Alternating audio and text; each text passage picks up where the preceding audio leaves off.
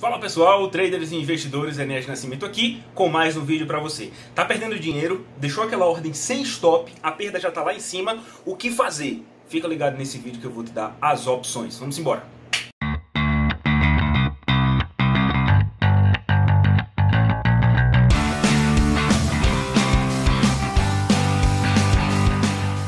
Galera, nesse vídeo eu vou te dar as opções do que você pode fazer. Eu não vou te dizer o que fazer, ok? Mas eu te dizendo quais são as opções e as consequências, você vai poder ponderar e escolher aquilo que vai melhor encaixar no que você acredita. Tá certo? Fica até o final do vídeo que tem boas dicas para você. Ok, o que é que o pessoal vem falar comigo muitas vezes, muitas, muitas, muitas, muitas vezes?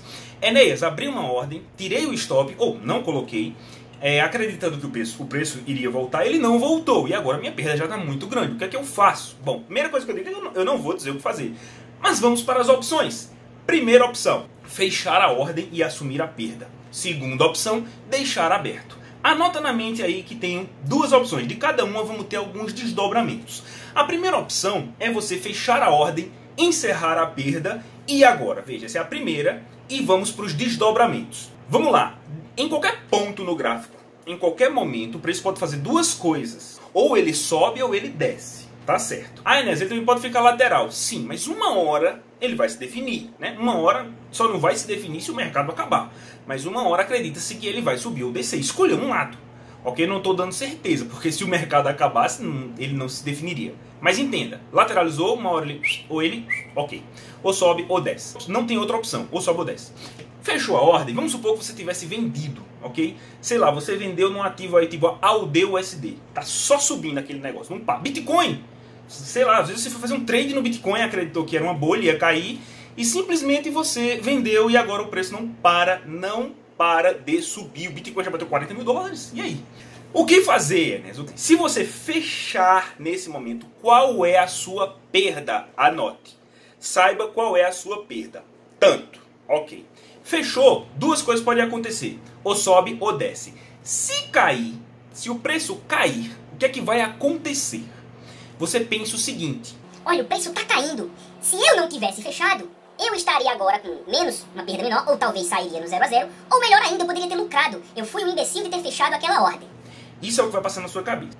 E se o preço subir, qual é a sensação que você vai sentir? O preço subiu e você vai dizer: olha aí, o preço está subindo, ainda bem que eu saí, pois senão a minha perda seria muito maior. E aí, quando o preço chegar num ponto que você diria, tá vendo, quebraria minha conta, então foi uma ótima decisão ter fechado com aquela perda. Veja a dicotomia dos dois pensamentos, do, das duas coisas que vão passar pela sua mente. Uma, você vai ficar muito frustrado porque diria, eu até poderia ter lucrado, para que eu fui fechar? E na outra, você diz, olha aí, como foi bom eu fechar e assumir o prejuízo naquele momento. São duas consequências mentais. Ok, guarda aí agora, tá? Falamos da primeira, que é fechar, assumir a perda, e pode acontecer duas coisas: frustração, porque pensou que poderia ter lucrado em vez de ter perdido, ou total alívio por não ter perdido tudo da sua conta. Agora, preste atenção na segunda opção, se você deixar a ordem aberta pensando que o preço vai voltar. O preço já voltou outras vezes, o preço pode voltar novamente. Vamos deixar o barco andar, vamos deixar o mercado fazer o que ele tem que fazer.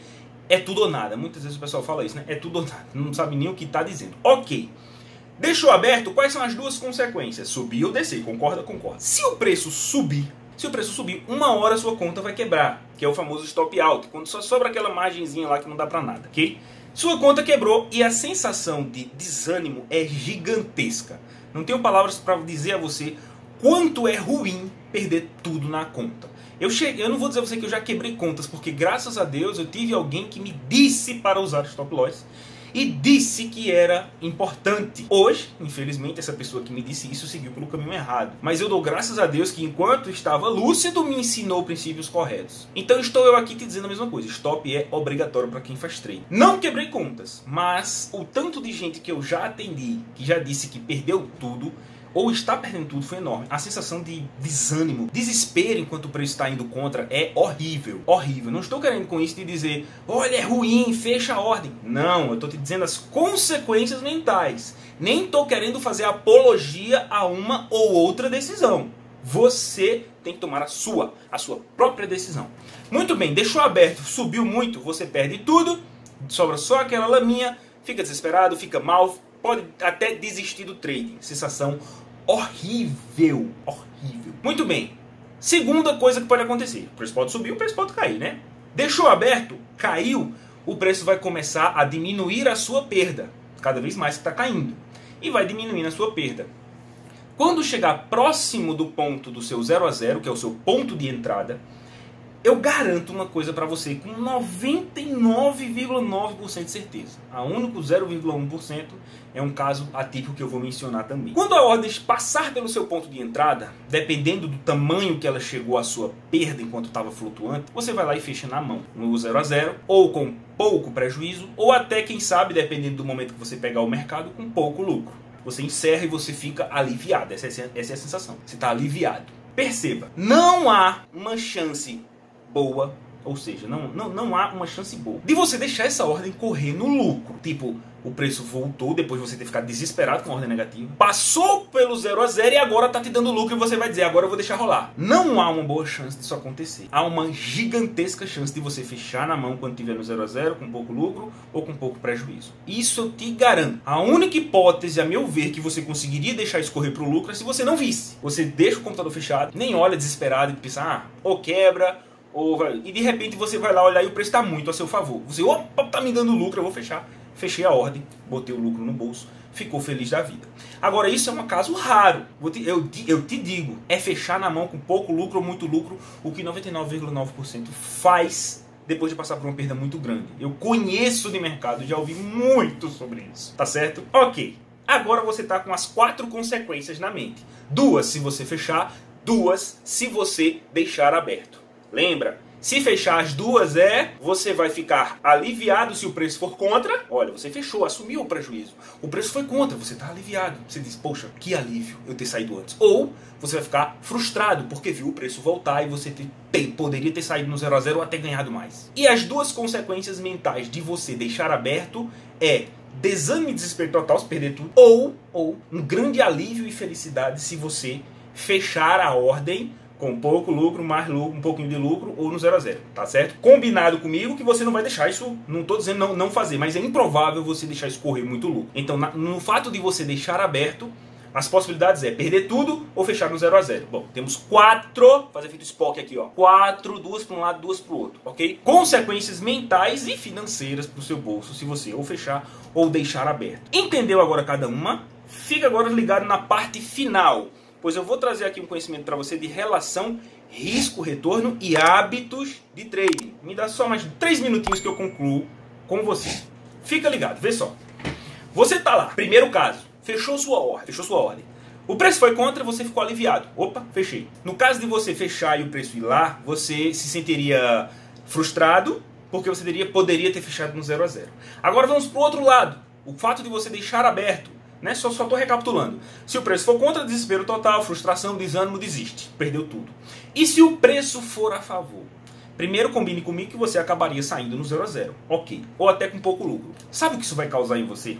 É a consequência da última lá, de você deixar aberto e o negócio te dar lucro. Você vai criar um péssimo hábito de trading. E esse péssimo hábito de trading é justamente esse: deixar aberto. Deixar aberto. Quando der lucro, você vai querer deixar sempre aberto. Ah, vai continuar fazendo a mesma coisa, fazendo a mesma coisa.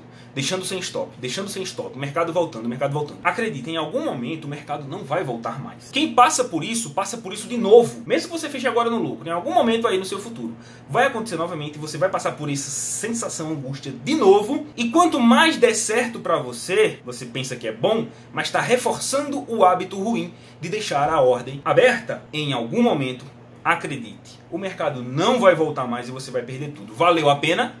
Não sei. É você que vai decidir. Não estou fazendo apologia. Estou só te dizendo o que acontece nesses casos. Estamos então na última parte, né?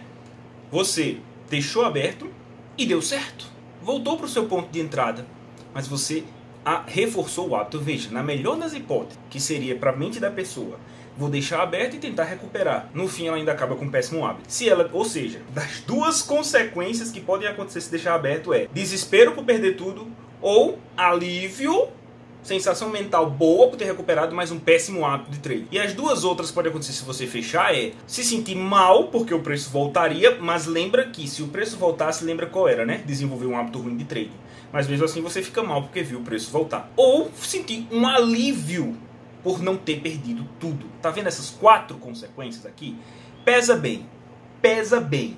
Fe se fechar a operação, você vai ficar aliviado porque não perdeu tudo ou vai ficar frustrado porque viu o preço voltar. Mas é uma frustração que eu já te falei. Você evitou o hábito ruim de trade que aconteceria, que é se você deixar aberta a operação, você pode se desesperar perdendo tudo ou ficar feliz e animado por ter recuperado o seu capital, mas desenvolveu o hábito ruim de trade. Ai, né, você tá fazendo apologia. Assim você tá dizendo eu fechar a ordem. Não estou dizendo isso. Porque se eu chegasse, se fosse para dizer mesmo, ah, fecha aqui a ordem, não sei o que. Não estou dizendo isso. Estou dizendo a consequência. É igual dizer a você, ah, Enéas, você. Tem muita gente aí que é a favor das drogas, a favor da maconha, não sei o que. Eu digo, olha só, maconha faz mal. Se você fumar maconha, você pode esquecer os seus problemas. Mas no fim você vai se viciar e isso vai te fazer mal, tá? Ah, então você tá mandando recomendar maconha. Não manda ninguém. Tá? Eu mando na, eu mando na minha casa. E às vezes nem em casa a gente manda, né? Brincadeiras à parte. Eu digo a consequência. Cada um escolhe o que quiser. Uma alternativa que alguém pode pensar é o seguinte: ah, vou fazer um edge, vou abrir uma ordem. Então você vendeu, o preço está subindo, você está segurando uma perda grande. Então você vai e faz uma compra. Né? Muita gente pensa em fazer isso. Sabe o que pode acontecer? Vamos lá, você comprou, né? Já sabe, ou sobe ou desce. Se cair te fazendo recuperar aquela perda, a compra agora está dando prejuízo. Então quando volta para o seu 0 a 0 da venda, que era para você estar tá aliviado, a compra agora está te dando prejuízo. E aí? Você travou sua situação ruim. Onde for o preço, você vai estar nessa mesma angústia. Então, se você está vendido, o preço subiu, está perdendo, você compra. Se o preço subir e chegar naquele ponto onde você quebraria a conta vendido, você não quebrou. Beleza, isso não é bom, Enéas?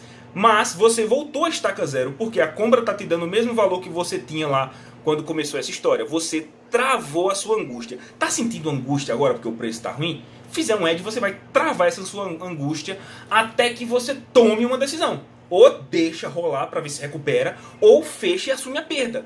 Lembrando das consequências que eu falei. Ok, agora cabe quem? A você. Gostou desse vídeo? Deixa o like. Tá, sabe que alguém está passando por isso? Compartilha esse vídeo lá no grupo que você faz parte. Com certeza vai ajudar alguém. Que a pessoa pode depois se sentir muito melhor aprendendo alguma coisa nesse sentido. E se inscreve para não perder mais vídeos por aqui. Um forte abraço, que Deus abençoe a todos e ilumine você nessa sua decisão. Valeu!